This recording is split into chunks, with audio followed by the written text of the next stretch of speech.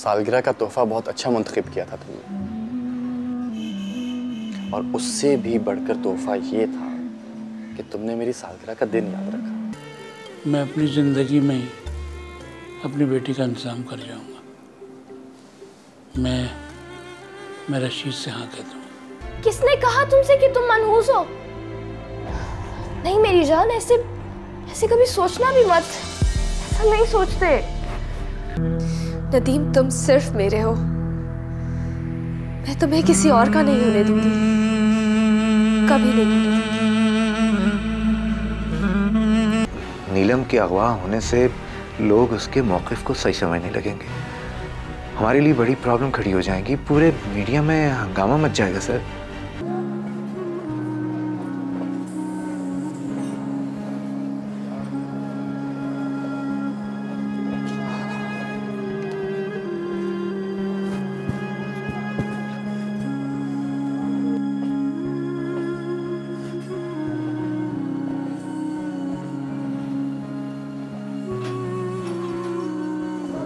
तुम इतना परेशान मत हो चाचा। निसार अगर बेकसूर है तो दुनिया की कोई भी ताकत उसको इतने ज़्यादा दिन जेल में नहीं रख सकती। बेटा मैं जानता हूँ। सारे सबूत उसके खिलाफ हैं। अब वो अपनी सजा पूरी किए बगैर बाहर नहीं आ सकता।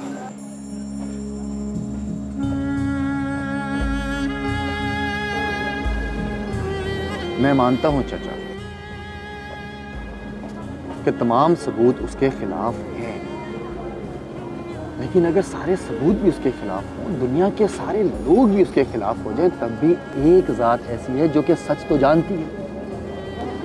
और वो जात भी वो है जो कि मुनसिफ है, आदिल है। और उसका किया हुआ इंसाफ अटल होता है, चाचा। और वो जात कभी भी किसी के साथ ज्यादती नहीं होने देती। ठीक कहता है बेटा तू। अरे उसकी साथ पे किसको शक है? और और उससे बड़ा मुझसे कौन हो सकता है? लेकिन बेटा वो अपने बंदों का इम्तिहान भी तो लेता है। और और अगर अगर ऐसा ना होता तो तू जैसा पढ़ा लिखा, काबिल लड़का वो यूँ स्टेशन पे लोगों का सामान ना उठा रहा होता।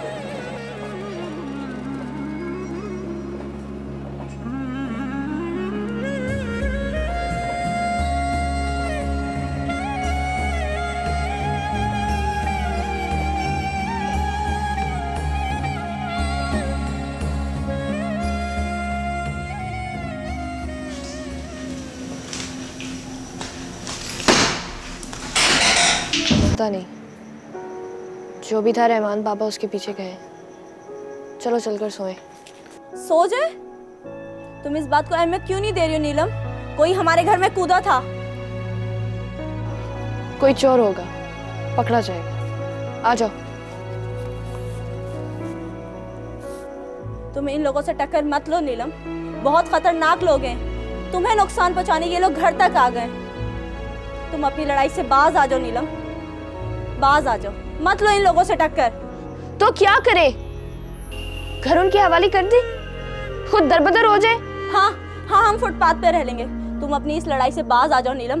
वो लोग बहुत ताकतवर हैं। तुम बाज आ जाओ और हार मान लो। नहीं। मैं हार नहीं मानूँगी। अपनी ज़िंदगी की आखिरी सांस तक मैं हार नहीं मानूँगी।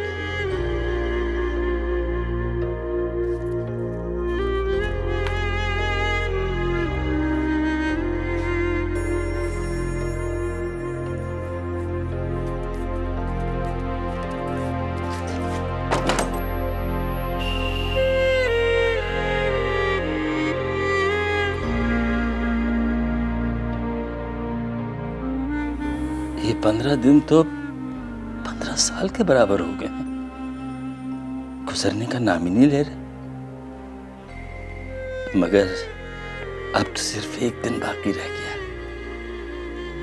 कल पंद्रह दिन पूरे हो रहे हैं। काश फारूकी साहब की बात सच हो। काश सचमुच कल सारे पैसे मिल जाएँ। अगर ऐसा हो गया तो सारे दिल दर्द दूर हो जाएँगे तमाम मसाइल हल हो जाएँगे। कितना सुकून हो जाएगा अयाज को भी। काश कल फारूकी साहब खुशखबरी ले आए।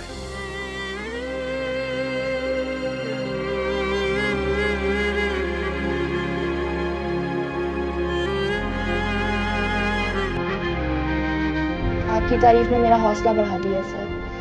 अगर आप मेरा साथ दें तो मैं बड़ी से बड़ी ताकत से टकरा सकती हूँ। शाबाश। तुम जैसे नौजवान इस मुल्क का असासा है। मुझे फख्र है कि तुम मेरे इदारे में काम करती हो। कल सुबह नौ बजे अपने घर से दफ्तर के लिए निकलेगी तुम दोनों उसका पीछा करना और मौका देखते उसे उठा लेना।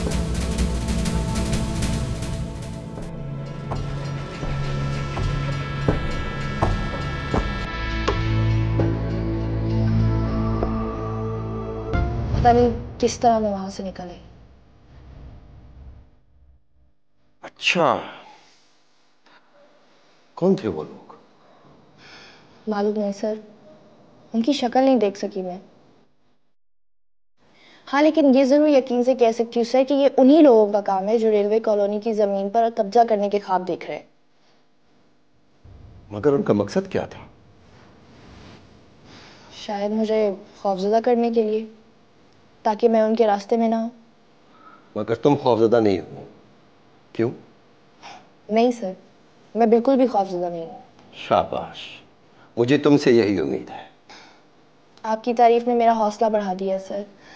अगर आप मेरा साथ दें तो मैं बड़ी से बड़ी ताकत से टकरा सकती हूँ। शाबाश। तुम जैसे नौजवान इस मुल्क का असासा हैं। मुझे फख्र है कि तुम मेरे इदारे में काम करती हो। कदम पीछे मत हटाना। मैं तुम्हारे साथ हूँ। Wish you all the best.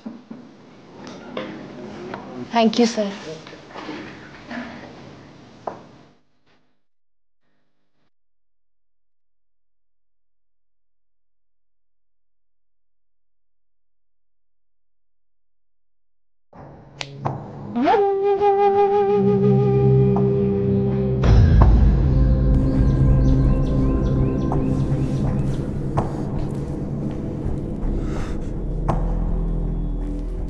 बेवकूफों? घर में कूदने को किसने कहा था? बॉस आपने तो कहा था उसे अगवा करने को। अगवा करने को कहा था? घर में कूदने को नहीं कहा था। तुम दोनों को बताया था ना कि वो नौकरी करती है रोज सुबह दफ्तर जाती है।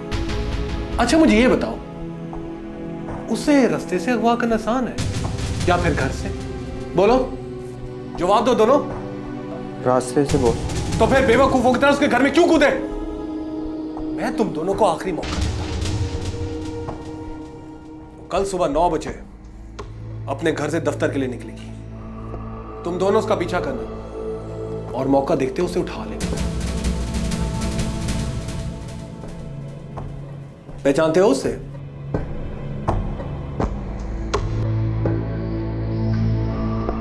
ज़रूरत भी नहीं है उसे पहचानने की। वो रोज सुबह नौ बजे अपने घर से नौकरी के लिए निकलती है।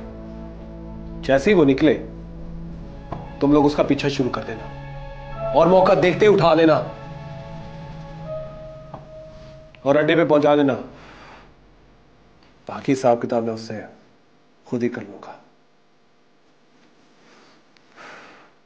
तुम दोनों की बेवकूफ़ी की वजह से मुझे बहुत से अब झाड़ सुननी पड़ेगी।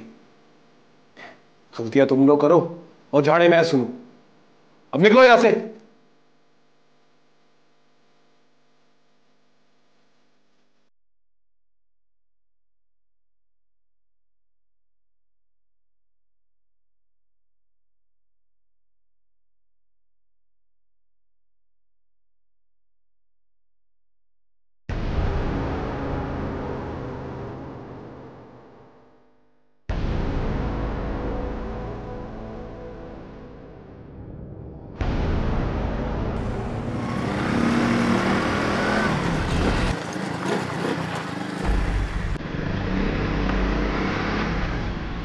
अरे कहाँ जा रही हो? मैं छोड़ देता हूँ।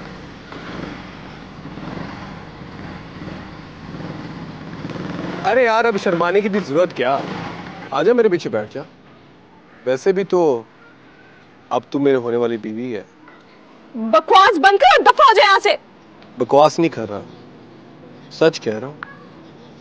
नहीं यकीन तो जाके अपने बाप से पूछ ले।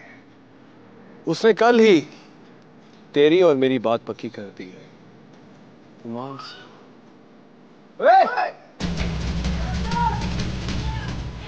ये क्या हो रहा है अभी? होना क्या है बाबू? अपनी होने वाली बीवी से बात कर रहा और तुम कौन होते बीच में आने वाले? क्या बकवास कर रहा है? ज़ुबान संभाल के बात कर। ज़ुबान तू संभाल। और अपने हाथ पैर भी। ये मेरी होने वाली बीवी है। हमारी बात पक्की हो चुकी है। कल ही इसके बाबा ने इसका और मेरा रिश्ता पक्का कर दिया है। झूठ झूठ बोल रही है बकवास कर रहा है। बाबा ऐसा कर ही नहीं सकते। अगर नहीं यकीन तो जाके अपने बाबा से पूछ लो कि क्या सच है और क्या झूठ। अरे तू मुझे पसंद करती है। बता क्यों नहीं देती इसको हाँ?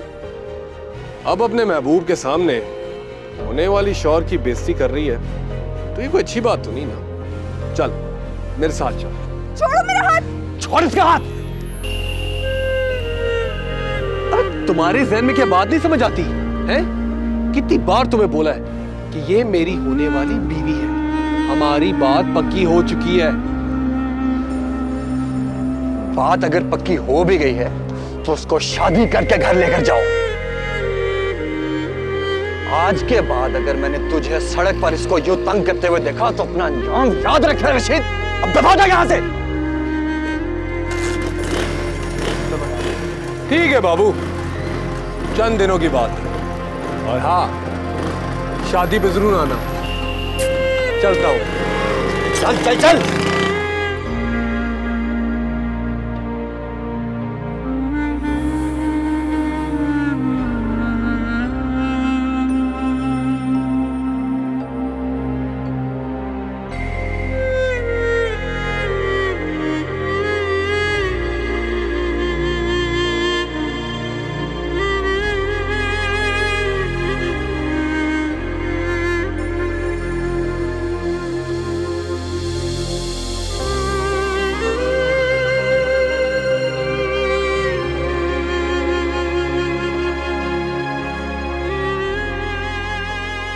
अरे तेरी बहन कहाँ रह गई बेटा? और ये क्या कर रहा है? ये ये दबा रहा है जरा सही दबा आटा गूंद रहा है बैठा हुआ आहिस्ता आहिस्ता।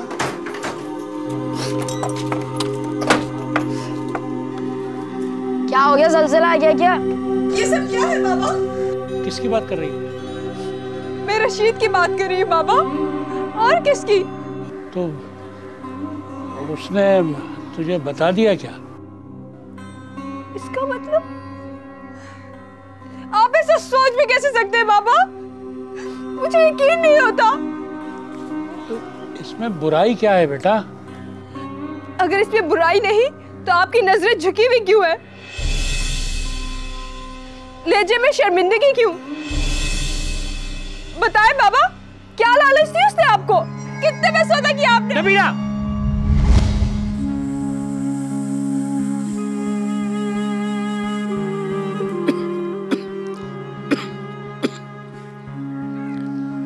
मेरी ज़िंदगी का कोई भरोसा नहीं है बेटा। मेरे बाद तेरा क्या होगा? किसके सहारे जिएगी तू? इसका मतलब आप मुझे आग में छोड़ देंगे? बेटा तेरी शादी कहीं तो करनी थी ना? अब मेरी ज़िंदगी में तू अपने घर की हो जाएगी तो मैं कम से कम सुकून से मर तो सकूँगा। आप सुकून से मर जाएँगे और मुझे ज़िंदगी भर के लिए जानने में छोड़ देंगे। बाबा वो अच्छा आदमी नहीं है। वो धोखेबाज है। मुजरिम है झूठा है। आपने मुझसे पूछ तो लिया होता बाबा। बेटा हर आदमी अपना नसीब आसमानों से लिखा के लाता है। और अगर तेरे नसीब में यही लिखा है तो तुझे कबूल करना होगा बेटा। ये तो कोई बात नहीं मामू जान किसी को अपने हाथ से कुएँ में फेंक के आप नसीब को इल्ज़ाम नहीं दे सकते। अरे तू चुप कर। जितना है उतना रहे। और अगर तुझे इतनी तकलीफ़ है ना तो चल जा अपनी माँ के पास, मुल्तान वापस चल यहाँ से। जा निकल। चल। कितना है? उससे ज़्यादा बातें करता है।